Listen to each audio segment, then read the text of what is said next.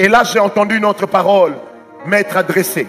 Il m'a dit, les temps dans lesquels le monde va, l'évangile aura sérieusement besoin des personnes bénies, financièrement et matériellement. Même ton amène montre que tu n'es pas sélectionnable. N'hésitez pas à liker la vidéo si elle vous plaît et si vous êtes nouveau sur la chaîne, n'oubliez pas de vous abonner et d'activer la notification pour ne rater aucune de nos prochaines vidéos. On commence. J'ai jamais compris ce qui s'est passé. Je me suis retrouvé par terre, mais la chaise est restée normale. Parce que j'ai été enlevé en esprit. Et là où je suis arrivé, ça ressemblait un peu aux adeptes des dessins animés, ils vont se retrouver. Vous connaissez Oncle Picsou, n'est-ce pas? Qui connaît Oncle Picsou? Eh, Il y a beaucoup d'enfants ici. hein. Oncle On- Oncle Picsou, c'est un dessin animé de Walt Disney dans lequel on montre un canard qui ressemble à Donald, qui est avare. Il a beaucoup de richesses, mais il n'aime pas partager. Alors j'ai vu que j'étais comme introduit dans cette salle-là. Et la salle dans laquelle j'étais était bien éclairée. Mais il y avait toutes sortes de matières précieuses. Il y avait tout. Et la personne qui me conduisait, me tenant par la main, m'a posé la question. Qu'est-ce que tu vois? J'ai dit, je vois des richesses. Je vois de l'or. Je vois des chrysolites, des saphirs, des émeraudes, des diamants. Je vois tout ce qui ferait qu'un homme soit riche. Et il m'a posé la question. À qui appartiennent toutes ces choses? J'ai dit, ça appartient à Dieu. Et il m'a dit, pourquoi tu ne crois pas? Que Dieu puisse te le donner Et là, j'ai entendu une autre parole m'être adressée. Il m'a dit, les temps dans lesquels le monde va, l'évangile aura sérieusement besoin des personnes bénies, financièrement et matériellement. Même ton amène montre que tu n'es pas sélectionnable. Pas que spirituellement. Si tu es béni en esprit, si le matériel et les finances ne suivent pas, même dans ta famille, un jour, on t'appellera sorcier. Est-ce que vous le savez? Nous ne pouvons pas nous vanter que pour le fait d'être vivant. Être vivant n'est pas extraordinaire. Le fou que tu as croisé en route est vivant, mais il est fou. Amen. La folle que tu as croisée en route, elle est vivante, elle est folle. Peut-être même que sa famille l'a rejetée. En quoi est-ce qu'une vie pareille est une bénédiction? En rien. Dis avec moi en rien. Frères, sœurs, j'aimerais vous amener à avoir un autre mental. Ce n'est pas parce que vous vous réveillez le matin que vous devez dire forcément, Hum, aujourd'hui vraiment je suis béni. Non.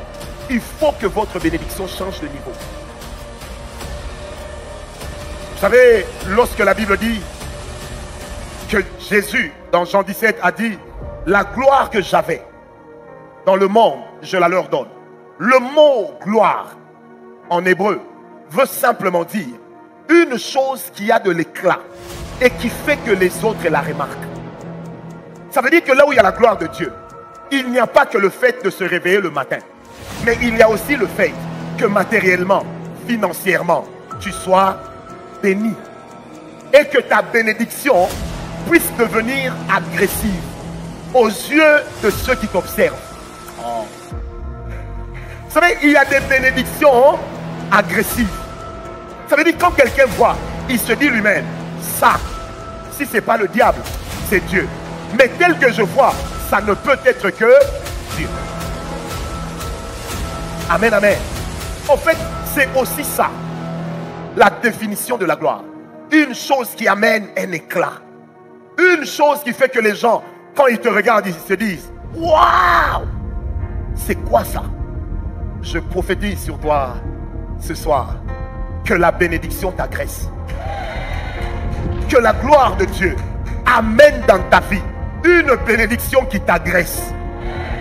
Il faut que les sorciers disent que, eux, que nous, nous sommes sorciers. Mais toi, vraiment, tu dois nous montrer le chemin de ton Dieu. Bien-aimé, l'un des terrains sur lequel se joue le combat spirituel, c'est le terrain de la bénédiction. Je ne sais pas pourquoi, mais j'aimerais dire à une femme, tu es peut-être resté longtemps sans enfant.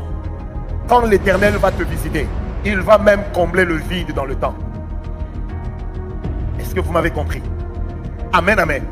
Donc Dieu, j'aimerais vraiment le dire comme ça. C'est ma foi. Dieu a l'obligation, pour être Dieu, de te bénir. existe. Alors, je dis sur toi ce soir que la bénédiction t'agresse. Qui a déjà manqué à manger dans sa vie Qui lève la main?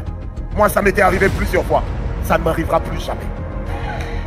Vous savez, quand vous n'avez rien et que vous êtes pauvre, même si les gens ne vous le disent pas, leur simple regard sur vous vous amène vous-même à vous auto-qualifier. Bien aimé, toute bénédiction n'a pas la même qualité ni la même valeur. Mais sur toi, Dieu amènera une bénédiction de haute qualité. Amen, amen. Vous savez, lorsque les gens nous disent, voilà un véritable enfant de Dieu, ne prie pas pour être béni. Cette parole même est une malédiction. Tu dois prier pour être béni. Hmm? Non, Seigneur, ne me donne pas trop. Seigneur, exagère. Parce que quand un homme dans la Bible a dit à Dieu, ne me donne pas trop, Dieu lui a quand même donné hein, trop. Donc c'est déjà une prière que Dieu n'exaucera pas. Dans la communauté, la voix de la puissance divine. Que Dieu n'exauce pas des prières dans lesquelles tu diras, ne me donne pas trop. Que Dieu te donne trop. Et si c'est que Dieu te donne, tu trouves que c'est excessif, viens me donner. Si toi tu n'aimes pas, reçois. Mais quand tu as reçu, donne. Amen, amen. Vous savez, quand dans la Bible il est dit, il y a plus de bonheur à donner qu'à recevoir. Dieu est le premier qui applique sa parole. En application de la parole de Dieu, Dieu lui-même va te donner. Bien aimé, moi j'ai eu à faire le ministère sans argent. J'ai eu à faire le ministère sans argent. Cette année, ça va faire 32 ans que je me suis converti. J'ai fait le ministère sans argent. Vous savez, lorsque vous faites le ministère sans argent, vous vous rendez compte que l'onction n'est bien que sur la chair. Mais vous en avez besoin dans tous les domaines de votre vie. Vous savez, je me rappelle de ces moments où on organisait des activités 97, 98, 99. Et il fallait aller demander aux cellules, aux églises, de nous prêter leurs chaises. Et les églises ne nous donnaient jamais de chaises. Elles ne nous prêtaient que des bancs. Et nous étions obligés de les transporter sur nos têtes. Parce que nous n'avions même pas l'argent pour payer le pousse-pousseur. Et je me rappelle d'un monsieur qui est mort, qui habitait à Lupin. C'était le premier endroit où on faisait louer les chaises. Toutes les chaises qu'on faisait louer là-bas, c'était des chaises métalliques que nous transportions sur la tête. Donc quand tu rentres à la maison, tu as toi-même prié. Les gens ont été guéris. Mais arrivé à la maison, la tête te fait mal. Pas parce que le diable te combat. Parce que ta tête elle-même est en train de te dire, aujourd'hui j'ai porté trop de poids. Et je m'appelle un jour, on a organisé une grande action. C'était à l'école Mafé Malibène en 98. On termine l'action avec un ami. Et notre thème c'était le royaume des... Non, que ton règne vienne. Parmi les gens qui chantaient, il y avait quelqu'un qui est aujourd'hui l'un des pasteurs du président de la République. Il chantait. Et lui et nous, nous étions des fauchés, comme des rats d'église. Alors, avec l'ami, qu'est-ce qu'on a fait? Le vendredi, lui, il a modéré. Moi, non, le vendredi, j'ai modéré, il a prêché. Le samedi, il a modéré, j'ai prêché. L'onction de Dieu était forte, très forte. À la fin, les gens sont partis et nous, on traînait. On ne traînait pas parce que on voulait communier. Mais on traînait parce qu'on attendait que les gens qui venaient de loin prennent leur transport. Et que les gens qui habitent Ipen arrivent chez eux pour que personne ne nous voit en route. Mais l'onction était tellement forte. À la fin, je me rappelle, j'avais transporté une pile de plus de 15 chaises. Ma veste, je l'ai attachée autour des reins. Et pendant que je passais, il y a une soeur qui a dit Hé, c'est comme le frère là qui vient de nous prêcher, non? Je vous assure, bien aimé, je leur ai dit non, c'est pas moi. Et ça montrait que c'était moi, parce que si ce n'était pas moi, je devrais dire normalement, c'est pas lui. amen, amen. Regardez à quel point être pauvre et ne pas être béni financièrement, matériellement, peut devenir un problème. Bien aimé, nous avions eu l'onction sans argent. Et nous avions expérimenté ce que la Bible dit. La sagesse du pauvre n'est pas écoutée. Là où toi tu donnes la prophétie, on prendra la dîme et l'offrande. On va aller donner ça à une grande église. Des fois, c'est vous qui chassez les démons.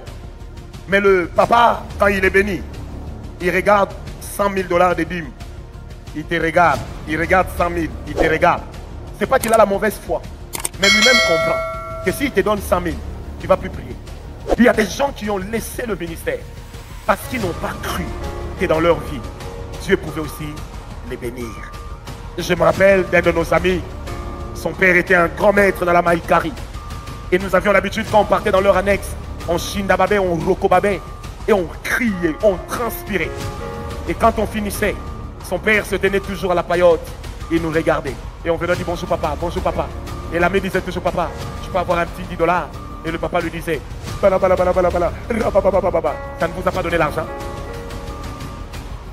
Et quand on sortait, on disait, Hum, pagano, païen. Mais en fait, on combattait les esprits de la maïkari, mais à la fin, on cherchait l'argent de la maïkari. Quel contraste. Amen. Quel contraste. Je m'appelle d'un papa, paix à son âme, j'ai prié pour lui. J'ai amené une équipe, on a jeûné, on a prié trois jours. On dormait par terre dans son salon. Le monsieur s'était retrouvé dans une mouise terrible, une sécheresse extraordinaire. Et qu'est-ce qui lui est arrivé en ce moment-là? Quand on est arrivé, on a prié. Je lui ai dit, le Seigneur me dit que vous avez un bâtiment, un immeuble qui se trouve à Kananga. Il y a quelqu'un, il y a un organisme qui squatte et qui n'a pas payé depuis quatre ans. Mais Dieu va toucher ces gens. Ils vont vous payer quatre ans en un jour. J'ai dit, papa, après cela, un homme viendra vous payer une dette que vous avez oubliée. Le papa me regarde, il me dit, mon prophète, ok, Père, quelques temps après, le fils de ce papa m'appelle des États-Unis, dit, Francis, est-ce que tu as vu papa? J'ai dit non, pourquoi? Il dit, tel qu'on parle là, papa est devenu millionnaire. Frère, un mardi, c'est un exemple. On l'appelle, on lui dit, vous êtes monsieur tel Oui. Propriétaire de tel immeuble Il dit oui. Voilà, nous avons décidé de vous payer votre loyer d'autant d'années. Quelques millions. On le lui paye, il envoie tout, virement bancaire. Quelques millions entrent. Il est assis un jour avant, fauché. Il voit un blanc qui entre dans sa parcelle. Et le blanc lui dit, je cherche tel monsieur. Il dit, c'est moi. Et comme c'était un papa qui n'avait pas beaucoup, beaucoup étudié, il avait des manières propres à lui. Il regarde ce blanc, il dit, qu'est-ce que tu me veux? Le blanc rigole, il lui dit, monsieur, en 1988, vous m'aviez prêté 150 000, non, 300 000 dollars. J'ai travaillé avec. Je ne vous ai jamais remboursé. Je suis venu vous rembourser vos 300 000 et je suis venu vous donner 150 000 dollars d'intérêt. Quand l'ami m'a dit cela, j'ai frimé. J'ai dit à l'ami, non mon cher, moi je suis un oin de Dieu. Je n'irai pas voir papa, même pas pour dire bonjour. Dieu va toucher son cœur. Il viendra vers moi. Frère, j'ai attendu que Dieu touche son cœur. La main de Dieu est allée vers Mikeni, alors que le cœur du papa était vers l'aéroport d'Engine. Donc les deux ne se sont pas croisés. Sa femme m'appelle, prophète, ça va? J'ai dit oui, tu peux passer. Quand je passe, sa femme me paye deux bouteilles de coca. C'était trois. Et dans mon cœur, je me disais déjà, 400 000 Shabbat. Et bim, c'est bon. On m'a donné deux bouteilles de coca, j'ai pris dans un esprit d'action de grâce. La maman m'a tendu une enveloppe. L'enveloppe était tellement fine que moi-même, je commençais à me convaincre. C'est un chèque. Quand on sort de là, j'ouvre vite l'enveloppe. Vous savez, nous les prédicateurs, nous sommes dans une profession libérale. Des fois, nos mains ont une sensibilité devant l'argent. Et vous savez, quand vous n'êtes pas sûr de combien on vous a donné, vous pouvez avoir envie d'aller aux toilettes. Mais en réalité, ce n'est pas parce qu'il y a un besoin. C'est parce que l'unique besoin qu'il y a, c'est d'être rassuré. Il y a combien? Fait, Quand je fais ça, je vois 10 dollars. Je fais Ce n'est pas ce que je vois. 10 dollars. Amen. Amen. Frère, dans mon cœur, j'avais haï ce papa. Je l'avais haï. Mais quand j'ai prié, le Seigneur m'a fait comprendre que le problème, ce n'était pas lui. Le problème, c'était moi. Amen. Qui avait comme une condamnation à la pauvreté que je devais briser. Et le problème encore, c'était moi. Parce que, en fait, je ne croyais pas être qualifié à la bénédiction. Et c'est alors que je me suis souvenu d'un passage biblique. Prenez avec moi le psaume 109, verset 17. La Bible dit ceci, il aimait la, la malédiction, qu'elle tombe sur lui. Il ne se plaisait pas à la bénédiction, qu'elle s'éloigne de, de lui. Ne peut pas arriver dans ta vie tant que tu n'as pas appris à les aimer. Oh, tu dois aimer la richesse. Tu dois aimer la longévité. Tu dois aimer la bénédiction. Tu dois aimer des belles voitures. Tu dois aimer des belles hein, maisons. Amen. Tu dois aimer. Vous savez, la Bible dit qu'il te soit fait selon foi. Et le Seigneur dit, mon juste vivra par la foi. Et le Seigneur Jésus lui-même dira, là où sera ton trésor, c'est là où sera ton cœur. Quelle est la chose derrière laquelle tu cours? Quelle est la chose en laquelle tu crois? Frère, j'aimerais dire à une personne ce soir, en tant qu'enfant de Dieu, tu es qualifié pour être béni. Regarde ton voisin, dis-lui, la bénédiction, ce n'est pas seulement vivre, mais c'est bien vivre. Euh, dis-le lui. Ce n'est pas seulement vivre, mais c'est bien vivre. C'est bien vivre. Vous savez, quand chaque jour, vous faites Kitambo, Ozone, Kitambo, Bandal, vous ne comprendrez pas que vous êtes pauvre. Et vous ne comprendrez pas que vous n'êtes pas encore béni. Quand chaque jour vous prenez la moto, vous êtes à deux, plus le chauffeur, trois. Vous arrivez vite, mais pour ne rien avoir. Vous savez, j'ai eu dans ma vie à voir des gens, à voir des maisons. Quand j'ai vu ça, moi-même, je me suis posé la question. J'ai grandi dans une porcherie ou dans une maison? Frère, les choses auxquelles tu crois, tu finiras par les attirer.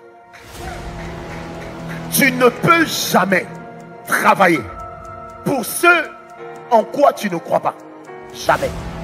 Oh, tu ne m'as pas donné un amen. Je répète, tu ne peux jamais travailler pour une chose en laquelle tu ne crois pas. Tu dois aimer la chose pour croire en la chose.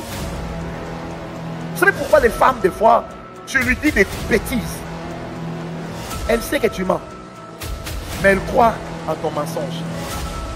Le plus vieux mensonge que les hommes mariés racontent aux femmes. On décrit ça dans les grands jeunes, mais ça marche toujours. Je suis marié, ma femme et moi, nous avons des problèmes. Nous sommes en voie de divorce, de séparation. En entendant que la procédure s'achève, je, t'aime, je voudrais être avec toi, que personne ne, que personne ne, ne sache. Elle sait que tu mens. Mais parce qu'elle t'aime, elle décide de croire à ton mensonge. Tu ne peux jamais investir ta foi dans une chose dans laquelle tu ne crois pas. Tu n'aimes pas, pardon. Tu dois aimer avant d'investir ta, foi. Tu dois aimer la bénédiction. Oh, tu veux que la bénédiction vienne. Qu'est-ce que tu dois faire? Aime-la. Fais, seul, sors de la pensée de l'essentiel. Non, l'essentiel c'est d'arriver. Peu importe comment, l'essentiel c'est d'arriver. Non, frère. Si ta vie s'articule encore autour de l'essentiel, ça veut dire que quelque part, tu n'as pas encore compris que Dieu dispose de plusieurs moyens pour ta bénédiction. Tu n'as pas encore compris. Non, l'essentiel, c'est d'arriver. Tu sais que tu peux arriver à destination, mais tu as le dos paralysé parce que tu as voyagé dans des mauvaises conditions. Un jour, et que quelqu'un d'autre voyage dans le business, de toute façon, l'avion va atterrir au même moment. J'ai dit oui, l'avion atterrira au même moment. Mais sauf que vous deux, vous n'arriverez pas dans le même état de santé. Sans compter qu'un monstre peut apparaître à l'intérieur là-bas. Pendant que tu dors, tu ne savais pas que derrière les valises, il y a un cercueil. Et quand dis à ton voisin, il faut aimer les bonnes choses, dis-lui ça. Dis-lui bien ça, il faut aimer les bonnes choses. Dis-lui encore bien, toi là, il faut aimer les bonnes choses. Non, l'essentiel, c'est d'arriver. L'essentiel, c'est de se marier. L'essentiel, c'est d'avoir des enfants. Non, non. Excusez-moi de froisser certaines personnes. Vraiment, excusez-moi. Vous savez, il y a certains enfants, quand tu le vois, tu le vois, tu n'as pas d'enfant. Tu es consolé. Toi-même, tu regardes l'enfant. Tu dis, entre ne pas avoir d'enfant et avoir ça. Ah non. Laissez. Quelqu'un me comprend. tu regardes l'enfant là. Frère. Tu regardes l'enfant. Toi-même, tu commences à dire à Dieu, ne me donne pas l'enfant vite. Attends un peu. Donne-moi un vrai enfant. Il y a des gens qui ont des enfants qui deviennent pour eux comme un malheur. Une femme a dit à Dieu, Seigneur, tu es injuste, tu es injuste, tu es injuste. Dieu lui a donné, je ne sais pas si c'est Dieu, mais en tout cas, un enfant est sorti du ventre. L'enfant est né avec les dents complètes. Un monstre.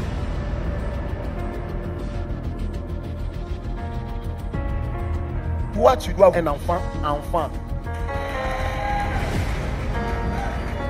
Vous savez, quand vous avez un bébé, tout le monde a envie de le porter. Il y a des enfants. Tu donnes comme ça.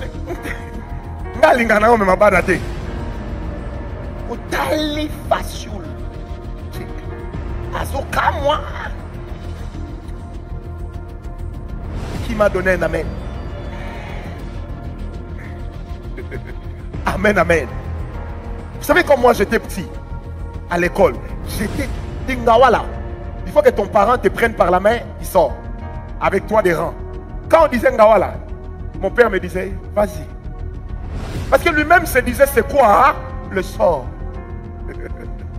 Non, ton enfant ne sera pas comme ça. J'ai dit, ton enfant ne sera pas hein, comme ça. Savez, il y a des choses où il faut dire à Dieu. Je suis peut-être comme Paul. Je suis qui en français, c'est quoi? Je suis peut-être bossu, mais je fais marcher les paralytiques. Ça veut dire, là où il y a, non, toi, non seulement tu es bossu, mais en plus tu échoues dans tout ce que tu fais. Tu sais, il est de ces gens que tu, le regardes. Tu as envie de l'aimer, mais toi-même, tu n'as pas d'excuse à donner à une beauté qui n'existe pas. Vous savez, il est de ces gens, il n'y a rien pour attirer les regards. Comme l'homme d'Esaïe 53. Mais au moins, c'est de nos meurtrissures qui s'est chargé. Mais il y en a, ils n'ont rien pour attirer les regards. Mais ils ont tout pour détourner même les regards qui ont l'intention de les regarder. Non, ce ne sera pas ton cas. La Bible dit, ils ont haï la bénédiction. Ils ont aimé la malédiction. Et la malédiction est venue chez eux. Mais toi, tu aimes la bénédiction. Que la bénédiction vienne hein, chez toi. Ce n'est pas parce que l'âge avance que tu dois accepter n'importe quel homme. Ce n'est pas parce que l'âge avance que tu dois accepter n'importe quel hein, homme. Vous savez, aujourd'hui, il y a des violences conjugales. Il y a des femmes qui meurent. La semaine passée, je regardais sur Facebook. Il y a une femme à Kinshasa qui est morte parce que battue par son mari. Et la soeur de cette femme qui disait, ma soeur aimait bien couvrir son mari parce qu'elle aimait le mariage. Non, mon frère. Non, ma soeur. L'âge avance peut-être. Mais en français, on dit, vaut mieux être seul plutôt que mal accompagné. Ma soeur, toi tu es là en train de dire, moi je ne suis pas marié, moi je ne suis pas marié. L'âge avance. Même quand je marche, je ne bondis plus parce que j'ai vieilli. Ma soeur, si Dieu veut que tu te maries, il va envoyer quelqu'un qui va t'épouser. Dis à ton voisin, ne te marie pas dans l'esprit de c'est trop tard. Dis-lui ça. Eh, dis-lui dans l'esprit de c'est trop tard. Vous savez, j'ai une cousine à moi, née et grandie en France. Quand elle parle français, c'est comme la petite soeur de Astérix. Alors Francis, ça va? T'as vu ça? Oh père oh. Donc quand elle parle, toi-même tu sens la paix. Le jour où elle m'a présenté son mari. Mais Francis, j'ai parlé de mon mec, c'est lui. Hein. Et puis moi je regarde aussi. Hein, et puis je fais, oh, ok. Je dis, mon cher, c'est comment? Il dit, ah, plutôt t'en bien, donc bien. Mais, ça tout de suite quand je regarde ma soeur, ma, ma, ma cousine, elle fait ça. Quand le gars est parti, je dis, mais vous êtes connu dans un camp de réfugiés ou comment? Elle me dit, je savais, que tu allais parler. Je savais que tu allais parler. Elle te dépasse en tout. Il te dépasse en tout. J'ai dit, non, tu veux te convaincre. Mais moi, moi, moi là, je vis en Afrique. C'est comme ça là.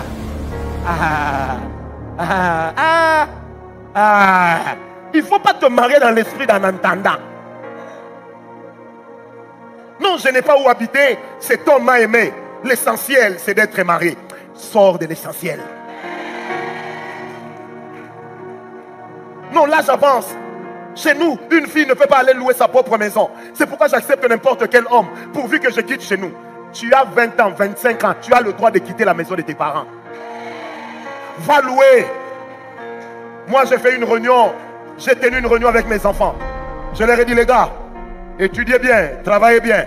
Mais bien, c'est à moi et à ma femme. Dès que vous avez 18 ans, au plus tard 19 ans et demi, je vais vous chasser. Ils m'ont dit, papa, j'ai dit, les hommes existent. Est-ce que quelqu'un m'a compris? L'esprit d'en entendant. Je ne sais pas où aller.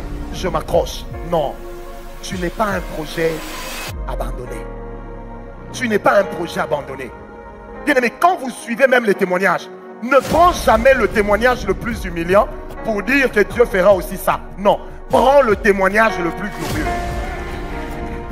Oh non, nous quand on s'est mariés, on a servi aux gens des sachets dans lesquels il y avait quatre beignets et une aile de poulet. Aujourd'hui, Dieu nous a bénis. L'essentiel, c'était de se marier. C'est toi.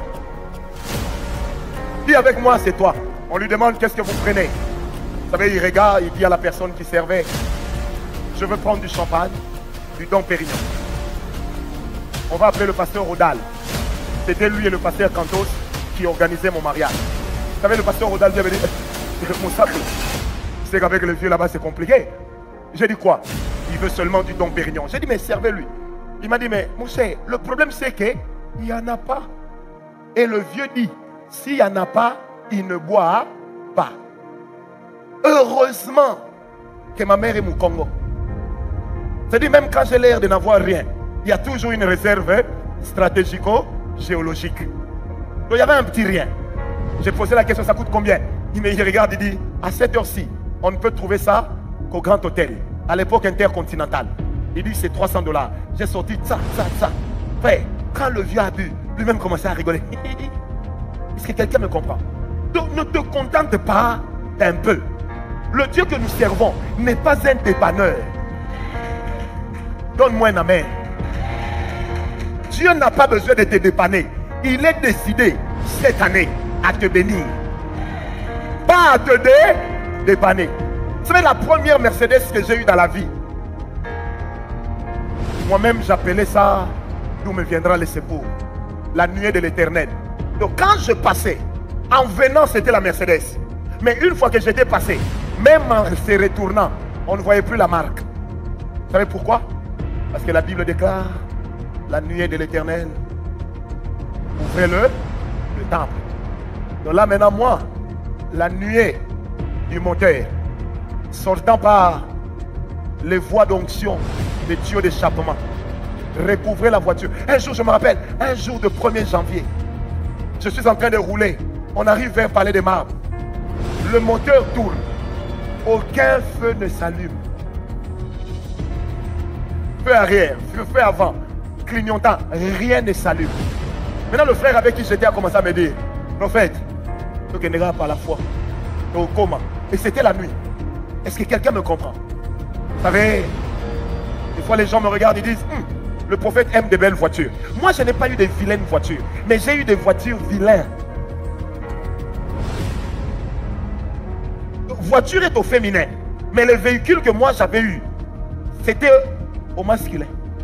C'est-à-dire pour conduire ça, ma femme elle-même me disait, mais Francis, ça il n'y a que toi pour conduire. Hein? J'ai dit comment? Il dit, mais tu fais comment pour voir? Je dis donc, je conduis dans la chair, mais nous allons arriver par la foi. Je prie ce matin, ce soir. Ça, ça ne sera pas ton cas. Il faut arrêter de dire aux gens, nous on a souffert, nous on a souffert. C'est écrit où dans la Bible qu'il faut souffrir pour être béni. Nous on a souffert, nous on a souffert. Que Dieu te visite. Dis avec moi, j'aime être béni. Ça fait un jour, je me rappelle, j'étais petit garçon et on a acheté des habits pour tout le monde. Comme j'étais l'enfant du dehors, on m'en a pas acheté. Et pendant plus d'une année, j'avais deux chemises. Et c'était les chemises de l'uniforme. J'étudiais à l'époque à Massamba et notre uniforme c'était la chemise rouge-bleu. Donc du coup, ça passait pour une chemise normale. Donc quand je revenais de l'école, je gardais cette chemise, je dormais avec. Et le lendemain, je mettais ça, je partais avec à l'école. Alors un jour, je retourne à la maison. On m'a dit, va nettoyer tes chemises. J'ai nettoyé les chemises. Maintenant, les amis sont venus me chercher pour aller jouer. Je vais avoir 12 ans. Il fallait aller jouer avec les amis. Et moi, j'aimais jouer. Quand je cherche quoi mettre, il n'y a pas. J'ai mis juste mon petit shirt, que nous ici on appelle culotte. J'ai mis ça et puis j'étais torse nu. J'ai commencé à faire ça. Et puis j'ai dit aux amis, dans le jeu, vous serez les chefs, moi les gardes du corps. Et on rencontre une fille. Cette fille-là est belle. Elle était très belle. Elle me dit, mais, oh, mais Francis, pourquoi toi tu es torse nu? J'ai dit non, soldat américain. Vous savez, un jour j'ai revu cette fille à Montréal.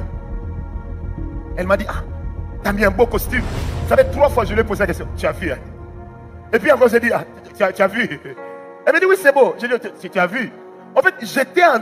Elle n'a, elle n'a pas, elle ne m'a pas rappelé le soldat américain. Mais sa présence m'a rappelé soldat américain, ranger. Ranger, ranger. Non, frère, tu ne seras pas une personne de la honte. Si dans ta famille, les gens ont connu la honte, toi, tu ne connaîtras pas la honte. J'ai dit si dans ta famille, les gens ont connu la honte, toi, tu ne connaîtras pas la honte. Non, tu ne connaîtras pas la honte. Je me rappelle, on est à Mangengengue. J'étais avec un de mes amis, le docteur Aimé Beneke. Et nous sommes montés, on a croisé deux sœurs. L'une d'elles était très jolie, exactement comme Madame Banza. Très jolie, forte. Et puis pendant qu'on est en train de prier, le Saint-Esprit me dit, elle a des blessures. Je dis, ma soeur, est-ce qu'on peut parler à côté? Elle me dit oui. Je dis, ma soeur, qu'est-ce qui se passe? J'ai même pas dit tu as des blessures, j'ai seulement dit qu'est-ce qui se passe Elle s'est mise à pleurer. Elle me dit, prophète, tel que tu me vois là. Chaque. Et une boîte, on appelait ça à l'époque Rio, ça existe toujours. C'était trop salé comme ça. Elle dit chaque jour pour avoir la petite boîte de Rio et une mesure de riz à préparer, qu'on appelle chez nous gobelet de riz. Elle dit, je dois passer sur le lit du garçon qui vend à la boutique. Vous savez que tout de suite, j'ai dit, j'étais hors de moi, j'ai dit, avec une si grande beauté. Vous savez, dans mon cœur, je m'étais dit, hé, et cette fille, je peux l'épouser Si elle ne vit que des Rio et du riz, donc sa dot ne doit pas être chère. Je peux l'épouser elle était très belle. Très belle. Elle a perdu sa virginité. Elle est devenue un objet sexuel. Pourquoi? Parce que quelque part, elle avait faim. Quelque part, elle n'était pas bénie. Et il fallait, il lui fallait manger. Je prie ce soir. Et je sais que ce genre de personnes, il y en a. Que Dieu te mette au large. Parce que Dieu a la volonté de te faire réussir. Mais il faut que tu crois à la bénédiction. Il faut que tu crois à la bénédiction. Ne demande pas les offrandes. Les gens eux-mêmes viennent donner parce qu'ils savent qu'il y a un peuple en face de nous, une religion en face de nous, qui a beaucoup d'argent. Et pour que les gens nous suivent, il faudrait que nous puissions leur montrer que notre Dieu bénit plus que Mahomet. Donc là, on, est, on a quitté les rakantarababa. Je chasse, je lis et je délie. Non, on est dans les faits. Quand un musulman croit en une chose, il va faire des sadakas des sacrifices. Quand un chrétien veut une chose, il ne croit qu'à la prière. Frère, la prochaine fois que sur Facebook, quelqu'un va écrire que la prière n'échoue jamais, ne coche pas j'aime. C'est faux. Peut échouer, sauf la prière. Depuis combien de temps tu pries? Depuis combien de temps tu demandes? Mais tu n'as toujours pas. Tu es fatigué de dire, j'ai envie de me marier. Seigneur, Seigneur, depuis combien de temps? Bien-aimé, à part la prière, il y a des actes que tu dois ajouter. Ah, donne-moi un amen. Je vous ai dit ici, les Juifs, le peuple le plus béni de la terre, financièrement. Vous allez aux États-Unis, c'est eux qui tiennent l'économie. Vous allez au Canada, c'est eux qui tiennent l'économie. Vous allez en Chine, un peu partout, ils tiennent l'économie, les Juifs. Mais dans la mentalité juive, quand un Juif achète un stylo, si tu lui donnes un deuxième stylo gratuitement, il refuse. Il dit, je dois mériter ça. Je dois l'acheter. Combien d'enfants de Dieu sont tombés dans les liens de pauvreté parce qu'ils ont pris un bien, ils ont pris de l'argent, ils ont accepté des services là où ils n'ont rien fait pour mériter. De son vivant, Jésus, très peu de personnes ont cru en lui. Mais pour que le monde aujourd'hui croit en lui, pour que même ceux qui ne croient pas en lui sachent que les années, on les calcule à partir de la naissance du Christ, pour qu'on en arrive là, il a payé le prix. Jésus n'est pas mort par grâce, mais il est mort pour la grâce. Oh, donne-moi un amen. La vraie grâce a des lois. Voilà pourquoi dans Romains 8, verset 2, la Bible dit la loi de l'esprit de vie. La loi de quoi? De qui, pardon? De l'esprit de, de vie. Oh, qu'apporte l'esprit de vie? L'esprit de vie apporte la grâce. Bien-aimé, si tu veux une grâce, comme tout le monde, tu l'auras. Mais si tu veux une grâce exceptionnelle, un don parfait, tu dois faire ce que les autres n'ont jamais fait. Si dans la parole de Dieu, on est en train de différencier les dons, de différencier les grâces, jusqu'à dire qu'il existe des grâces parfaites, j'aimerais te dire une chose, c'est que là où il y a des grâces parfaites, c'est qu'il y a aussi des grâces imparfaites. Tout dépend de là où toi-même tu décides de te situer. Il y a des dons, mais toi, tu dois prendre des dons parfaits. Est-ce que je peux te dire une parole qui va te faire mal? Mais mal, malement bien. dit dans la vie, dans le monde, ce ne sont pas les hommes qui font comme tout le monde qui réussissent. Ce sont les hommes qui font contrairement à tout le monde. Qui dirigent ceux qui font comme tout le monde. Quand vous allez en Afrique du Sud, dans des coins tels que Pretoria, Centurion, vous allez dans des coins tels que Santon, tels que Cap. Cap quoi encore? Cap quoi? Cap Vert. Hein? Toi, tu as dit Cap Vert. Cap Cape Town. Vous allez vous rendre compte qu'il y a trois catégories de personnes. Il y a des gens, ils se réveillent à 3 heures du matin. Il va au travail. Il revient à 6 heures, au plus tard 7 heures. Il rentre à la maison, il dort. Il se réveille à 11 heures. Il met son peignoir.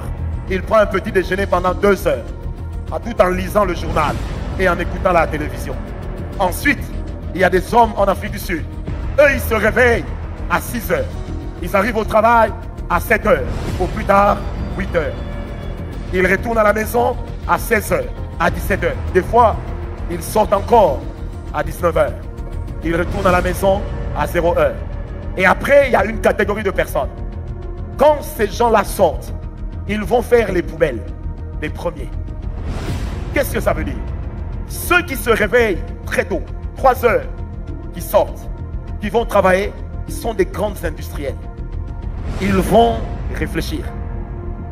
Ils vont fixer la norme sur laquelle les gens qui arrivent à 8 heures vont travailler.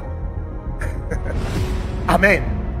Et ils vont fixer les résultats que les gens qui vont travailler à 20 heures vont leur rapporter. Et ils ont une vie. Vous allez penser qu'ils sont paresseux. Non. Ils ont tellement planté que les autres exécutent ce que eux ils veulent. Frère, la Bible dit, nous serons la tête. Et? Non, la Bible dit, et non jamais. Pas et non la queue. Et non jamais. Ça veut dire, je te choque un peu ce soir. Ça veut dire, la parole qui dit, la vie est faite des hauts et des bas, n'est pas biblique. Elle n'est pas biblique. Dans la Bible, il est écrit, mon serviteur prospérera. Je déclare dans ta vie que tu vas prospérer. Tu ne vas pas prospérer en dents de scie. Il faut que ta prospérité soit comme le décollage d'un avion. Ça commence jusqu'à disparaître dans les nuages. C'est ce que Dieu veut de toi. Arrête de dire, si ça n'a pas marché, ça ne fait rien. Peut-être que demain, ça va marcher. Cette fois, le juste tombe. Cette fois, il se relève. Ce verset-là dans la Bible, il n'y en a qu'un. Mon rédempteur est vivant. Le dernier, s'élèvera. Non, celui qui a dit ça, c'est un homme qui avait été béni, à qui Dieu a tout repris et qui savait que l'Éternel allait lui donner au-delà de ce qu'il a perdu. ne va jamais bâtir ta doctrine ou ta foi sur l'histoire des autres. Père Franck a dit, il a commencé avec une voiture qui fumait. Qui t'a dit que mon histoire, c'est ton histoire? On n'a pas la même destinée. Par conséquent, nous n'avons pas à avoir la même histoire. Tu dois me dépasser. Tu dois être bien. Tu dois aller de l'avant. Oh, je suis fatigué de ces témoignages. J'ai dormi dans un garage et quand l'Éternel m'a visité, je commence à dormir sur un lit. Quel lit? De Delvaux? Non, frère. Les bonnes choses, les choses exceptionnelles sont pour les enfants de Dieu. Aujourd'hui, je ne fais qu'introduire. Demain, on va entrer bien, bien. Vous savez, moi, dans ma vie, j'ai compris, frère. L'onction, c'est bien. L'onction va faire que les gens diront Waouh Mais pour garder le, garder le respect, tout le monde cherchera à savoir qu'est-ce que vous avez. Tout le monde. Qu'on ne te trompe pas.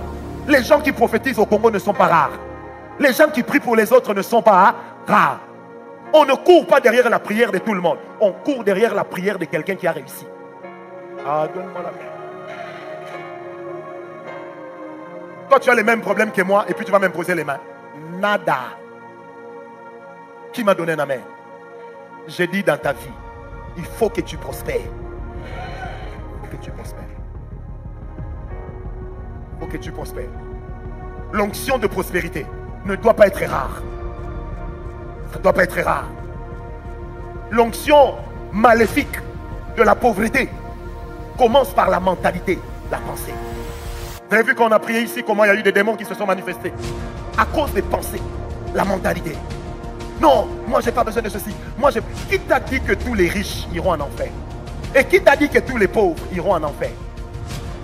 Vous voulez que je vous donne mon point de vue? Vous voulez que je vous le donne? Hmm? Moi, j'ai doute fort. Il y aura beaucoup de pauvres au ciel. J'ai doute. Demandez-moi pourquoi. Il y a des péchés qui sont attachés à la pauvreté. La jalousie, la convoitise, la médisance. Vous savez, les gens qui critiquent les autres sont des personnes pauvres qui n'ont pas d'espoir dans la vie. Frère, un jour quelqu'un m'a dit, prophète, tel frère a dit que tu as mal parlé de lui. Vous savez, j'ai rigolé. Non, madame, j'ai dit à ce frère, moi, du haut de mon Francis Ngawala, je vais parler de lui. Ah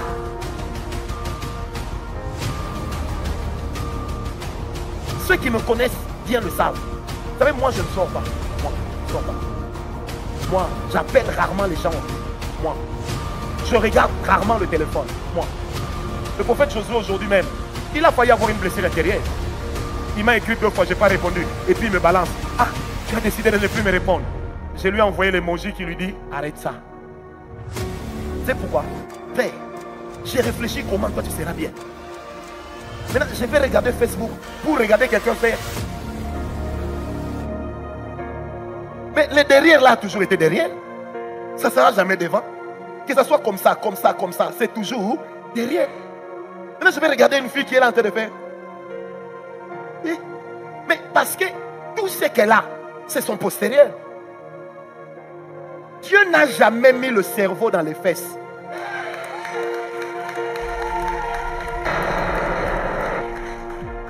Tu dois arrêter de penser que tout ce que tu as, c'est ça. Frère, que ce soit comme ça, comme ça, comme ça, comme ça. Frère, jamais ça n'a été derrière. Reste sur l'essentiel. J'ai dit à ce frère, moi, Francis Ngawala, hein, je vais passer mon temps à parler de toi. Je dis, esprit, est-ce que tu sais que je ne connais même pas ton nom? Un jour, quelqu'un m'a dit, prophète, j'ai vu que tu m'as bloqué. J'ai dit oui. Mais pourquoi vous m'avez bloqué? J'ai dit parce que tu n'écris rien d'intéressant. Et moi. Moi, dans ma vie, il y a une chose que je ne fais pas, c'est perdre le temps. J'ai écrit six livres dans ma vie. Je n'ai écrit aucun livre en plus d'un mois. Donc je ne manque pas faire. Dans mon iPad, il y a plus de 27 livres terminés qui n'attendent que l'argent. Donc maintenant, moi, je vais rester là, en train de parler de qui? De Guilain, de Thérèse, de Rose. Tu as vu comment elle est devenue claire Que tu deviennes clair, que tu deviennes noir. Yangaï. Si toi tu crois que pour être belle, il faut devenir clair, deviens clair. Si toi tu crois que pour être belle, il faut grossir, deviens hein, gros ou grosse. Frère, dis à ton voisin, ne perds pas ton temps. Maintenant, dis-lui, travaille pour être béni. Dis-lui ça. Non, dis-lui bien, travaille pour être béni. Vous savez, ma femme et moi, depuis des années, nous avons un principe. À la maison, on ne parle ni de l'église, ni des gens de l'église. Jamais. On ne parle pas d'eux. Jamais. Parce que les gens de l'église, les mêmes qui nous critiquent, ont déjà bénéficié de nos faveurs. Donc je n'ai pas le temps de parler d'eux. Je vais parler de l'église pourquoi? Je ne suis pas mort à la croix. Au début de notre ministère, tout ce qui se passait, je rapportais à ma femme. Et je me rendais compte que je devenais nerveux. Très nerveux. Je prenais tout au premier degré. Un jour, ma femme m'a dit, Francis, tu es en train de mourir à petit feu. Un jour, j'ai fini de recevoir. J'ai tellement entendu les problèmes des gens. Quand j'arrive à la maison, je commence à crier sur tout le monde. Le lendemain, ma femme est sortie. Elle a fouillé dans mes affaires avant de sortir. Elle a vu que j'avais un visa européen valide. Elle est revenue, elle m'a donné un billet d'avion. Elle m'a dit, tu voyages demain. J'ai dit, j'ai pas envie. Il dit, non, tu as craqué. Pars. J'ai dit, mais j'ai pas d'argent pour vivre. Elle m'a remis de l'argent. Elle me dit, rassure-moi une chose. Tu n'es pas allé prêcher. Tu es allé te reposer. Je suis arrivé à Bruxelles. J'ai pris un hôtel. Je suis resté dix jours. Sans jamais sortir. Je mangeais à l'hôtel. Je vivais à l'hôtel. Dix jours après, quand j'ai quitté l'hôtel, je suis allé prendre l'avion. Suis rentré. Moi-même, j'ai senti que je suis devenu jeune. Frère, pense à ta bénédiction. Prie pour ta bénédiction. Cherche-la. Faut la chercher. Oh, faut la chercher. Il faut la chercher. Il faut aimer être béni. N'accepte pas de ne pas être béni. Tu dois être béni. J'ai dit tu dois être béni.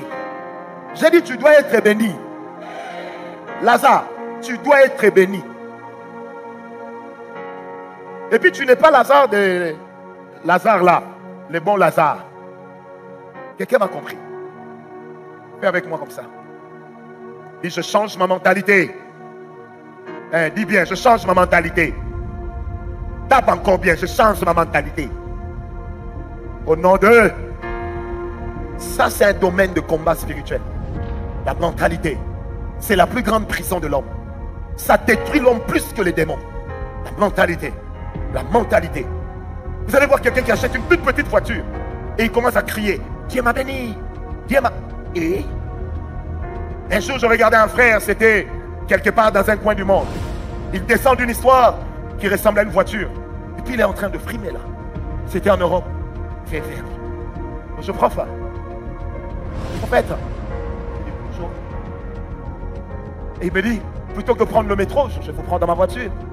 J'entre dans la voiture, même la ceinture me résiste. Et il est en train de m'expliquer. Non, cette voiture, cette voiture. Dans mon cœur, j'ai dit, frère, viens à Kin, tu auras des blessures intérieures. Tu comprends? Il faut viser l'excellence. Il faut rêver grand. Il faut rêver costaud. Ah, frère, rêve grand. Rêve costaud. Tes rêves ne doivent pas avoir le standard de tout le monde. Faut rêver grand. Faut rêver costaud. Un jour, on est à Dubaï avec mon ami le prophète Epaphras. On entre dans un magasin. Je vois une belle montre sertie de diamants. Et tout de suite, ma lèvre inférieure tombe. Et puis, je commence à dire au monsieur, How much is it? Il me dit 300 000 dollars. J'ai dit US dollars? Il me dit oui.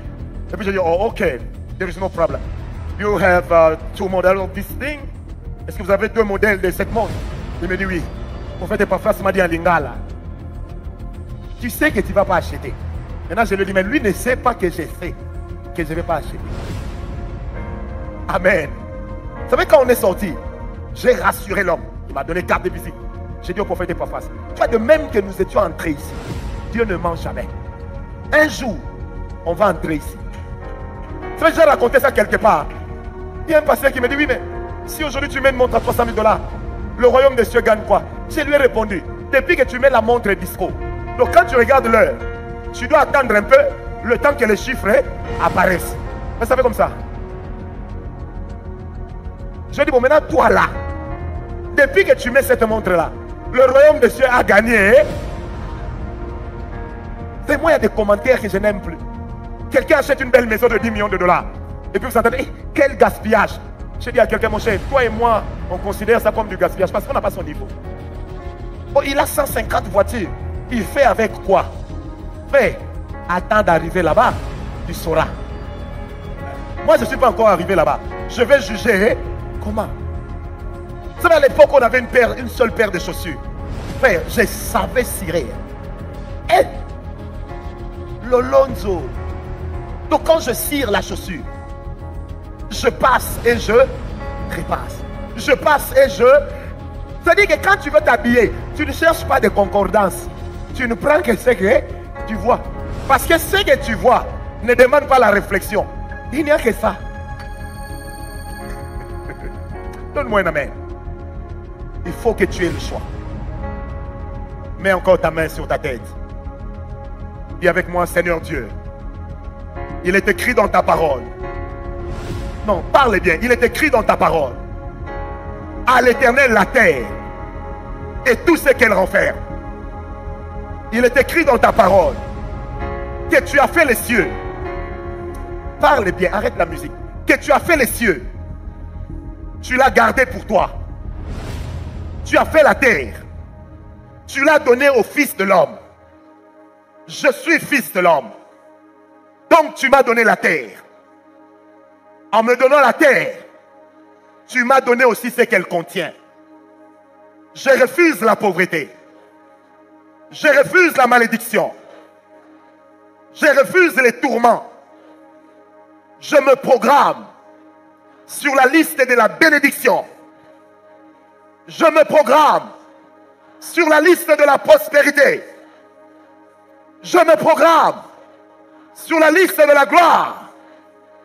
Je me programme sur la liste de l'excellence. Je ne mourrai pas comme ça. Non, je suis un témoignage de ce que Dieu est et de ce que Dieu peut faire. Je crois en cela. Au nom de Jésus. Acclamons le Seigneur, disons Amen bien. Acclame le Seigneur. Dis Amen bien. Dis Amen bien. Acclame le Seigneur. Tu vivras longtemps, longtemps. À moins que Christ te revienne. Je t'interdis de vite mourir. Je t'interdis.